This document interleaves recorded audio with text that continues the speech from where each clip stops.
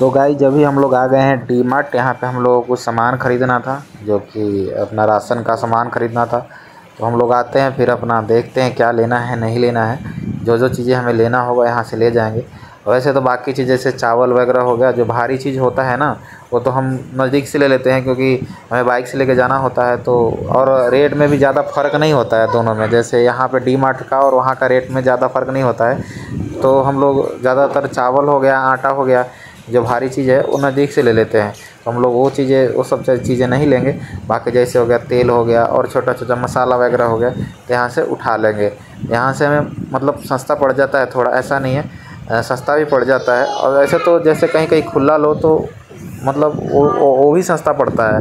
पर क्या है, जो हम यहाँ से लेते हैं तो पैकेट रहता है। तो उसका थोड़ा पैकेट रहता है तो इसलिए थोड़ा वो उसमें पैकेजिंग करने के बाद थोड़ा अच्छा रहता है। इसलिए ये भी सही है।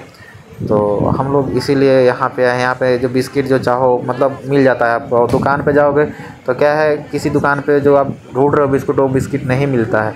तो यहाँ पे क्या हर एक प्रकार का बिस्किट रहता है तो अपने हिसाब से आप ले सकते हो। तो इसलिए हम लोग डी में आ जाते हैं और यहाँ से ले लेते हैं। हालाँकि कोई कोई चीज़ महँगा भी पड़ जाता है यहाँ पर तो हमें लगता है ऐसा। अब पता नहीं, आप लोगों को लगता है कि नहीं लगता है, पर हमें लगता है, जैसे मैगी आप लेने जाओगे तो दुकान पे क्या दस रुपये का मिलता है? यहाँ पे बारह रुपये का मिलता है। तो इनका पैकेट जो है ना या प्रिंट वो अलग से हमें लग लग रहा है कि लग, लगा हुआ जो लगा हुआ रहता है ना प्रिंट मारा हुआ वो अलग से मरवाते हैं शायद ही। क्योंकि जो दुकान पे जब जाओगे लेना तो, तो दस रुपये का देता है। तो यहाँ पे हमें दिख जाता है। अब दूध वाला बिस्किट पतंजलि का वो हम लोग ले लेते हैं क्योंकि पतंजलि का जो बिस्किट है वो अच्छा होता है। और ये वाला बिस्किट तो जैसे हमारा ब्रिटानिया का बिस्किट नहीं होता है कौन सा मिल्क बिकीज बोलते थे उसको तो वो वाला बिस्किट का जैसा टेस्ट सेम टू सेम लगता है, थोड़ा सा अच्छा ही बल्कि उससे लगता है। और इसमें हमें डिस्काउंट भी दिखता है, एक पैकेट मतलब एक्स्ट्रा था। तो उस हिसाब से जिस जिस हिसाब से दुकान पे मिल रहा है दस रुपये का, उस हिसाब से एक पैकेट एक्स्ट्रा मतलब इसमें है प्राइस के अकॉर्डिंग मान लीजिए सौ रुपये का बिस्किट